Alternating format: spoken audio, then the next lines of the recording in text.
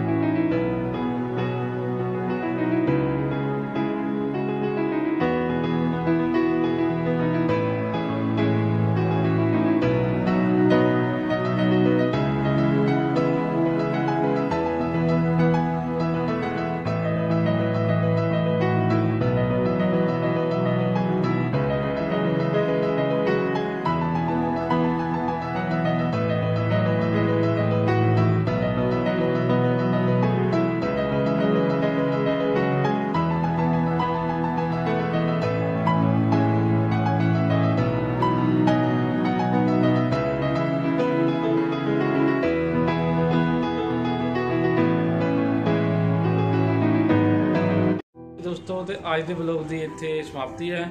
ਤੇ ਵਲੌਗ ਤੁਹਾਨੂੰ ਕਿਸ ਤਰ੍ਹਾਂ ਦਾ ਲੱਗਿਆ ਸਾਨੂੰ ਜਰੂਰ ਦੱਸਣਾ।